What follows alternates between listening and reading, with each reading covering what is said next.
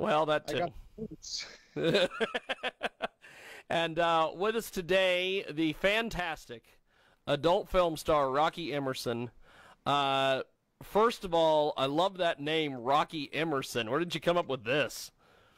Thank you. Um, so my favorite musician for a long time probably still is Roky Erickson. Um, Oh. Yeah, so it started off as Rocky, and then I was actually in my college history class, and we were studying Ralph Waldo Emerson, and we read some of his stuff, and I really, really liked it. And I was like, Emerson is really close to Erickson. That way, it'll still flow, um, but also, you know, um, it'll be different. So Fantastic. I notice you also have a lot of tattoos. I have a lot of tattoos. Do they mean You're, anything? you're tall as well. Yes. What's that? Go ahead, Jake. You're very tall, aren't you? I'm six foot three. Wow, Yeah. that's impressive. are you uh, are you Norwegian? Oh, my cat is knocking over the tripod. Sorry. I ha- my, mine did that last week when I was when I was when I was uh, do, doing doing a Skype call. So yes, it's uh, it happens. Oh, we have a special guest. Oh, look, Um, no, I'm not Norwegian. I am Serbian, and then a whole mix of like white American pioneer stuff. oh, I gotcha. I gotcha. That's awesome. So, uh, what is the cat's name, by the way? Since since Kitty. Kitty. Okay. Well, that's good. I I have a look at that. Original name. So, uh, this tattoo on your chest, what is that of? This one. Yeah. Oh, I don't know if you guys Jesus. can see it. She's got It's the Brock anchor. Lesnar going. It's like a dagger. Um, everyone thinks it's a dagger because you can only see the top, but it's an anchor. Oh, that's awesome. Yeah. Does that feel like your heart chakra? Um, it was a tattooer that I wanted to tattoo me really bad. Um, and I showed up there, and I was like a kid that was overly dramatic, and I was like, oh, my life is so hard, and I just need something to like center me and like hold me in place. Oh So, yeah. Oh yeah. That that's great. That's great. We have got a uh, great guest with us today. She joins us live, Rocky Emerson. You can find her on Twitter, uh, Rocky Emerson Triple X, and uh, also TrashBabyShop.com. yeah. Tell us about TrashBabyShop.com. Um, right now it's just a redirection link. Uh, I've been buying a lot of domain names during this quarantine out of random spots and boredom. Um, it will be eventually a site for merch to be purchased, but right now it's just a like link tree of where to find everything else. Awesome. So, uh, Jake, uh, you always have very interesting questions to ask people. So, I'm going to let you ask a couple questions and then I'll. Well, I got some pretty bland ones right off the bat. Um, so here's something I've always wondered about people that do porn or that are in the adult film industry. Do you see this as like a some type of like self-reflection or, or like a um, a way for you to act out like part of your personality that you couldn't you can't normally during your everyday life? Absolutely, actually. Um, Like a, like a form of self-expression. yeah, like I always felt very not like lost, um, but like I couldn't say a lot of the stuff on my mind because I had tried, and people were like, "Whoa," like Yeah, you know, gotcha. like I would meet people and I'd be like, "Oh, choke me," and they'd be like, "You have to shh, calm down," like. That's what? that's right down my alley. That would have been great. It So was now I can just like walk on set and say crazy stuff or like have very casual conversations with my friends about their butts. You? Right. Right. Well, like that's the I, I understand that, that for sure because like fighting is it's a sport, but it's also a way of like self-expression. Like I have a naturally aggressive, dominant side to myself, and you can't really, you know, like at the grocery store the other day, a guy was asking me if I needed help, and I just kind of wanted to smash his face against the chips.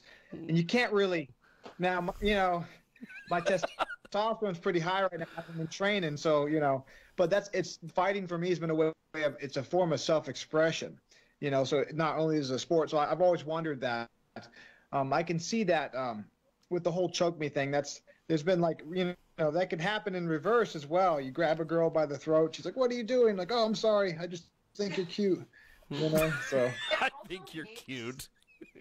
So at first it was very separate. I was like the version of me that I had built for society my entire life to be accepted, and then there was like the porn version of me, which was um, very, very genuine. I don't do anything I don't want to do.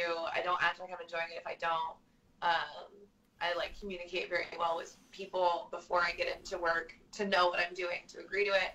Um, but it was very separate, and now since I've been doing it for so long, um, real me, you know, like the one that lives in this house, Right. uh, is is very similar. Like there's still pieces of me obviously that I don't bring to work. Like I love my cat and plants and hiking and like people know that that follow me, but I can't do that at work. Um, but as far as like making friends or dating or whatever, um, I have a lot of friends outside of work, but they know what I do, and I can be myself now. You know, it's kind of it's forced. Somebody said coming out, and it sounds disrespectful to people that have like come out as homosexual, but it's sort of Right. a coming out where you suddenly admit who you are, not just to yourself and your loved ones, but literally to the entire world on the internet publicly. And so, Yep. um, you know, like if I'm hanging out with somebody, they already sort of know what I'm into. They already know that I'm open and willing to talk about it. Like there's not this weird like, oh, are we going to be compatible? I don't know. Like you're really nice, but I don't know what you're into. Like it's already on the table. Right. Awesome. We have got Rocky Emerson with us today. You can uh, find her on Twitter, Rocky Emerson Triple X. Uh, where can people buy your buy your stuff? Because because a lot of these interviews that we're doing uh, with adult film stars and musicians and everybody, we're we're trying to get you guys some some eyes and some ears during the whole COVID thing. Uh, where can people buy buy your stuff?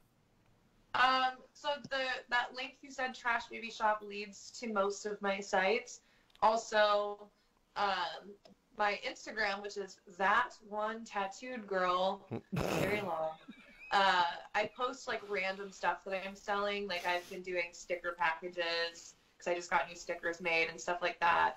Um, that's usually where I post the most up to date. Like, hey, uh, my OnlyFans just updated with this, or I'm selling these stickers or whatever. Um, but I have so many URLs. Or thetrashbaby.com. That's a good one. Yeah. I love the fact you're just buying random domain names. Yes.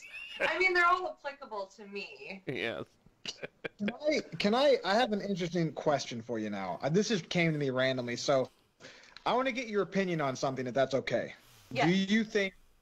Do you think this would be successful? So maybe my buddies are going to get mad at me for saying this because they're all married. And but when we were in high school, we had an idea to make our own porn site, and the premise was it was called DonateTheDick.com, and the idea was you'd go, you get all these really strapping looking young lads, and they go find women who may not get a lot of attention from men, and you would donate the dick, right?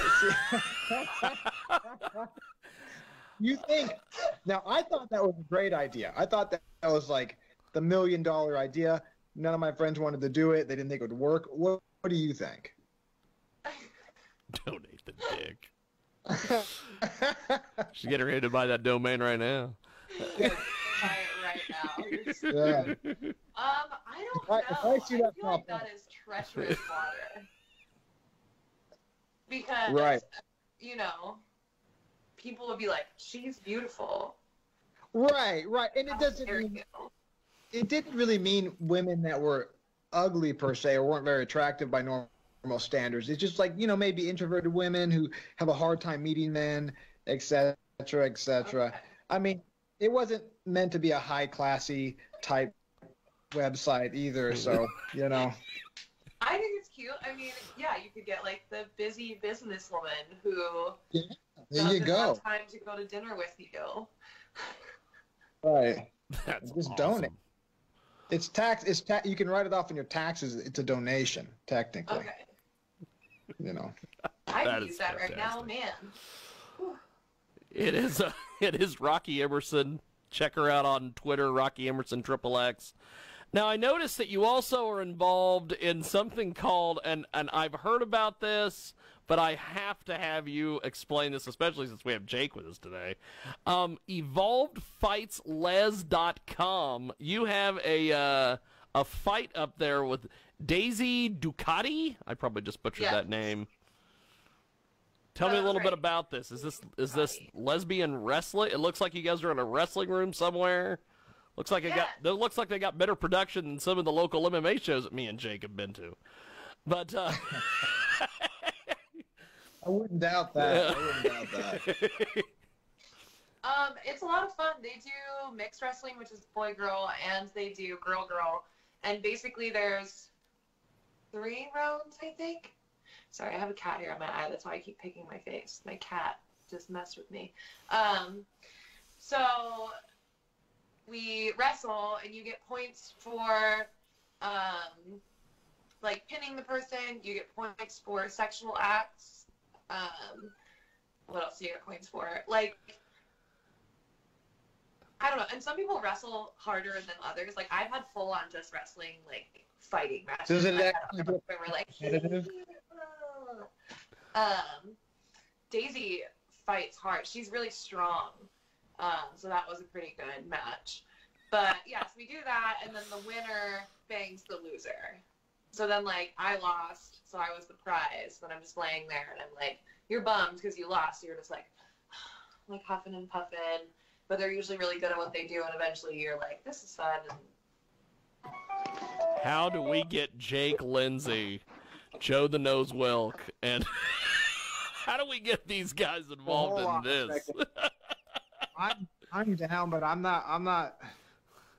Well, no, no, no. You, you, you. Well, see that the, the, the whole thing about the, the loser gets fucked. Yeah, we, we can't. Oh yeah, that's well. A, I'm not losing, so you know. but- yeah. well, that. So sometimes if, if the guy loses, um, it's mainly just like they just like lay there and the girl gets to do what they want, or like the girl is in charge, so I can be like, yeah, do it like this, you know. I win, Oh, you lose. I see.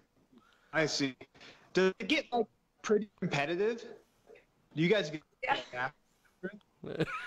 It gets competitive. Like there's some. I think even with Daisy, like there I'm was a moment where it her. like got bad, and I was like, oh hell no, and I like, I like rested for a second and just like let her do what she was doing to me. Then I was like, ah. This is amazing. See, I, I, I knew that this existed because I've noticed that the porn industry has started really getting into uh, MMA and fighting and wrestling and all these things because uh, there's a thing in California, the cage cage caliente, where they put the uh, strippers and the porn stars and boxing gloves and headgear and they put them in a, in a, on a in a cage. I think my, I think my friends did one of those in Vegas. I've done oil wrestling on a at a club. There's something kind of like. Excuse me, I'm sorry. There's Go ahead. kind of primal. Something kind of primal about taking what you want. You know what I mean? Like, not to sound super pervy here, but I, I see the appeal to that. I can see the appeal to that. It kind of it kind of calls the inner caveman. You go kill a deer. You go smack a woman over the head with your club. Take her back to your cave. You know, I can see I can see where that's popular. this is great. So, uh, so Rocky Emerson, you also, uh, by the way, if you want to find Rocky Emerson online, Rocky Emerson Triple X on uh, on the Twitter machine, as they say. Uh, you also have something uh, that you, you retweeted a couple days ago, which uh, I'm watching this clip. It is uh, terribly interesting. I don't know why. Helpless under Amazon goddess. Uh, something for Fluffy MK. Explain this to torturetime.com. Explain this to me and Jake. I love Fluffy. Um, it's femdom. female domination, which is not it, like an innate characteristic of mine. I have started to have fun with it though. Like when I look at a dude, I'm not like, ooh, I want to put my feet in your face. Um, but it's a lot of fun. So Fluffy is a fetish producer and we'll do foot stuff like that. I think the one you're talking about, I'm probably putting my feet in his face. Yes, he's got some Yes. mask on, Yeah. and Like, are you talking mad shit while you're doing it too? Oh yeah. Oh, Um, we did another one recently.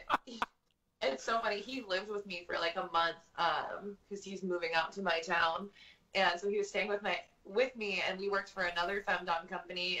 And the director was like, "Has Fluffy been annoying you? Because you can take it all out on him today." this is this so we is shot together. Um, but it's fun. I was totally talking shit. I was like, "Oh yeah, you like that, don't you, you little foot bitch, you little fucking perv, blah blah blah. You disgust me." And then I'm like telling them that they. I don't know if I'm allowed to say like horrible things. Oh yeah, you, Okay. you, you, you, you believe me. Me and Jake are going to get fired up here in a minute, and you're going to be saying all sorts of things. Go ahead. Okay. Uh, but I was Jake's a "Oh, gentleman, though. you wish you could have this pussy. You'll never have this pussy. Like the closest you'll get is me smothering you till you can't breathe while I sit on your face, little bitch. Oh. And like, Oh no, you're gonna make one of them cry. That's brutal. That's awful. you ever, you ever spit on them? Huh? yeah. Slap them in the face, all that stuff. I don't slap people in the face because I'm not good at it and I don't want to hurt them. My hands are really big, Oh. and usually I'm with like little boys, like small people. Well, not you Oh. know, but smaller than me, and so like usually their head's small and my hand's big, and I'd be like hitting them over the ear or like in the temple or something. So I'm not trained. You might like, people, so I don't do it. you might bring back some like repressed memories of like an abusive mom or father. Some guy might freak out on you. I mean, we never do anything without them agreeing, and usually you agree. Oh, so okay. Like, won't, yeah. So like, I'll do like a little bit of this, but no like, no big ones. It's Man, I don't know if I can handle that, boy. I, I'll take a couple. I'll take a couple slaps to the face. You know what I mean? I could see that being kind of fun though, in in a in a in a in a way. It's it's fun, yeah. I mean, I the first time I did it, I was like, uh, I don't. I'm not used to being in charge or saying mean things. Like I'm used to being thrown around. Um, but it's turned into a lot of fun because we talk for a long time before, which people don't realize. Like we go over an entire list of like what could possibly happen throughout the shoot, Huh. and they say yes or no. And then if there's anything specific that they specifically do or do not want, uh, they tell me. And same when I'm on when I'm on that end, uh, I'll be like, do this, don't do that. Like my boobs are really sensitive. Please don't pull on them. Uh, whatever. I forget what Fluffy's thing is. Fluffy has a thing that he has to remind me of, or like, don't call me this word, whatever. Is there like a safe word just in case things get a little bit too intense for somebody? Um, usually, if you say no, don't, or stop, or red, it changes on every set. But um, we're pretty well trained to not say stop, don't, or no unless we mean it. Um, Okay. You know what I mean? Or if you're Yeah. like gagged, you just go mm-mm. You say uh-uh as loud as you can through the gag and shake your head. You know, I read an article about this about women making a ton of money. Like these rich guys will pay them to just treat them like crap. I guess it was like a big thing for a while. Oh, it still is. Um, I have a couple people that I have on like SextPanther and stuff that I text like that. Um, Huh. Yeah, or they'll like attend industry parties and like I've gotten tipped because uh I got mad. I mean, I was still responsible about it. I wasn't being like crazy, but I got upset with somebody for like disrespecting the rules of the party and I like got in his face and I know that he's into it anyway, so he kind of got what he wanted, but I was like, "Fuck you." Like wow. you need to behave, blah blah blah, and he was just like, "I'm sorry," and like handed me a hundred dollars. Wow. I've heard of this financial domination stuff, which just doesn't make any sense to me at all. Where where these guys, I, I guess they they want they want to have you dominate them about money or something? Have you heard of this financial domination? I've heard of it. I don't understand it. I don't know how to do it, so I don't do it. I know it's the weirdest. Is this you dominating their their their checkbook, like you doing their Yeah, taxes? Because I'm bad at math. Because I, I would really appreciate it. And so you're just like, maybe it's like a task. It's like every time, like on a Skype call or something, you're like, every time you see me play with my hair, you have to send me five dollars. Yeah. Or like, uh, if you think if you thought about me today, you better send me a hundred dollars or like whatever. But I don't know how to do it, so I don't do. But there's people that are really good at it, and like men really enjoy Awesome. it. That's a hell I need to deal. find I need to find a market for like, are there rich dudes that want to get beat up by a guy? Because I'm Oh, all yeah. I'm all I'm down with that. you just want to get beat up, man. I got you. That's the thing. We have got Rocky Emerson with us today. Rocky Emerson Triple X. We also have the uh, fantastic Jake Lindsey with us today. He is uh, he was he was getting ready to make uh, his professional bare knuckle debut and be this be this big overnight sensation, and then the COVID nineteen came in and canceled everything. Oh, they killed it, man. It was horrible the day before too. I was like, Oh, look, man. we have a parking lot. Let's just get it done. Let's just get the get there's out here Now uh, I also kn- just do it downtown Wichita in a parking lot. That that's that was my thing. The hotel was right next to a bridge. I was like under the bridge. That's and it- that's a perfect location for a bare knuckle internet show. That would have been great. You guys could have, you, you know, we, we could have got a DJ out there. You still could have had entrances. It would have been. right across the street. It would have fit in.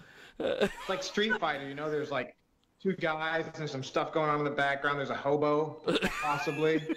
That would have worked out. Hey, I've gotten in fist fights in worse places than that. Well, that too. Believe me. So, so Rocky, tell me about this uh, other uh, tweet that you sent out here. Uh, uh, apparently, you did something for PrimalFetish.com. Rocky Emerson versus BT sexual supremacy match. What the hell is this? It's another wrestling. You love your wrestling. That's great. Only this one, you're like banging the guy while you're wrestling or whatever. What? Yeah, so there's two different versions. One of them is, uh, I don't think that's the one you're looking at. So one of them is where I win, um, and I'm just like putting him in different holds and then like posing and being like, huh, this is so easy. And then the second half of that is, um, whoever comes first loses, and then the winner has their way with them. Uh, so I'm pretty sure I lost. I don't remember. We've wrestled more than once, you and. I shoot camera for that guy, so I've like, I've shot so many of his wrestling scenes, and I've been in so many that I don't remember. This this is like I like the fact that Kind of like if you lose, you still win. You know, losing sucks, well but too. it's not that bad. You know what I mean? Yeah. But How's the, uh, How's the workplace dynamic on a set? I've always been curious about that. Like, is there like an HR, human resources department? If there's an inter, interpersonal problem between two employees, or is it very super professional like, or how's it how's it kind of work? It changes everywhere. I have been on sets where we had something called a Molly, which is a model liaison, um, for a really rough set that people are concerned about working for. Um, so I've had those. Uh, the guy that I shot camera for had an all-female crew, um, so that if the model ever felt uncomfortable, they had like four people to choose from to approach to talk about it.